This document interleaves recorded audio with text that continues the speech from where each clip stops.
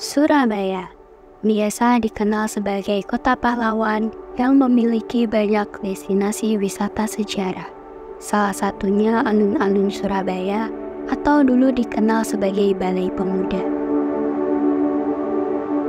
Menjadi wadah bagi warga Surabaya untuk mengetahui berbagai ragam kesenian.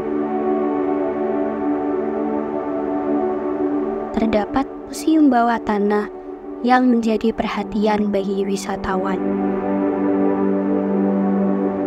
Di dalamnya terdapat koleksi barang kehidupan tempo dahulu yang terus berkembang hingga saat ini.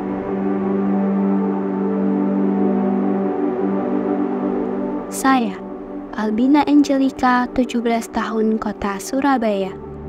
I'm ready for Miss Jawa Timur, Queen of East Java.